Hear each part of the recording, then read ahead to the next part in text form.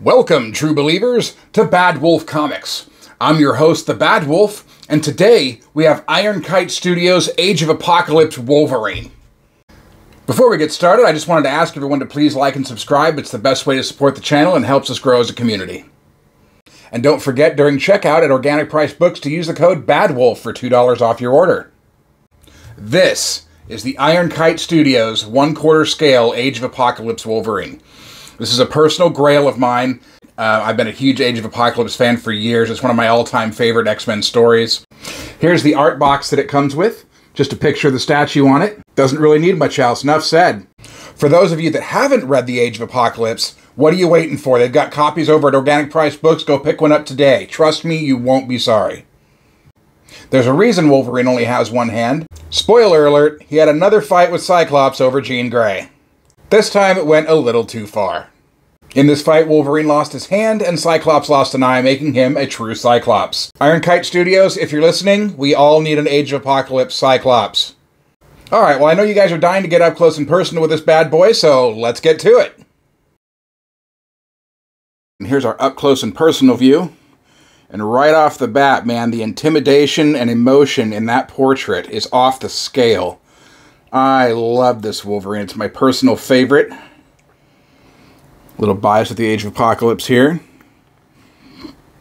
Now, it did come with a pre-argument hand, so it does have both claws. It looks really good with both claws, but for, you know, accuracy purposes, I have to display it like it is. A little bit of brain matter down here.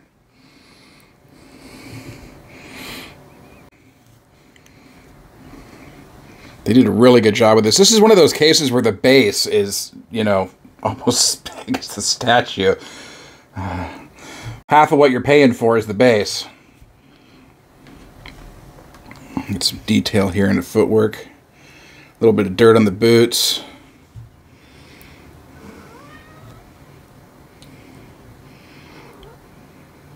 Alright, going to come up here. Yeah, I love the design of this outfit, man. It's very reminiscent of the yellow and blue outfit, which was my personal favorite. I know a lot of folks like the brown one, but I always like the yellow and blue. Onion. Goes back muscles here. He's even got his shirt bunched up. I mean, man, the detail is just uncanny. See what I did there?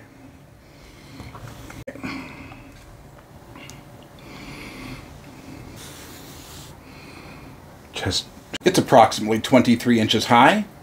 13 inches depth, and 14 and a half inches wide. Weighs approximately 39 and a half pounds. And this is number 266 of 388 made.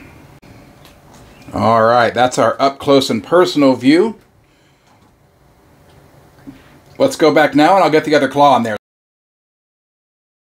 And now it's time to check the alternate alternate universe where Wolverine didn't lose his hand in the Age of Apocalypse. Or we can just say it's pre-fight with Cyclops. This is how I prefer the statue, but I do display him without the hand just for accuracy purposes. As much as I hate to do it, man, I gotta let this one go. I've got a few unexpected bills that showed up, and we need to take care of business. I just wanted to do this review with you before you went out the door. I hope you enjoyed checking out the Iron Kite Studios one quarter scale Age of Apocalypse Wolverine. Stick around, true believers. I've got plenty of other content to come. Thanks for watching.